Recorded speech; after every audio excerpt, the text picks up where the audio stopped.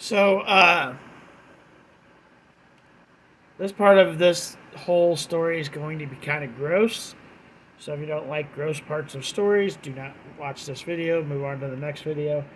But, uh, they have brought up parts of the Titanic submersible, or the Titan, whatever you want to call it.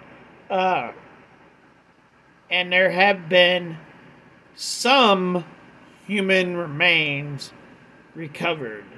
So there's a possibility that one or maybe two uh, people, and maybe even all of them, we never know, but at least one of them possibly are actually going to be able to be buried here in this in the world, not in the sea.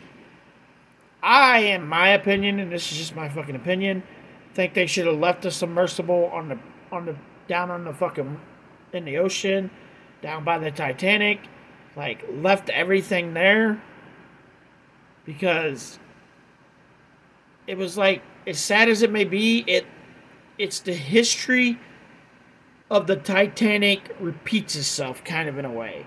Like thousands plus people died.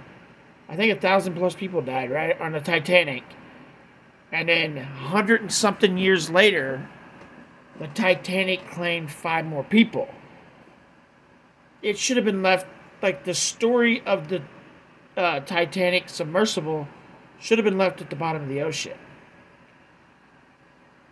But some people, depending on the remains, are going to have, be able to have a little bit of closure when they bury the remains of their family members.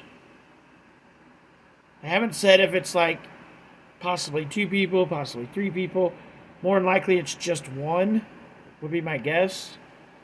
We'll just have to wait. The story's going to keep playing out. Like, now it's going to play play out even longer since they brought this thing out of the ocean.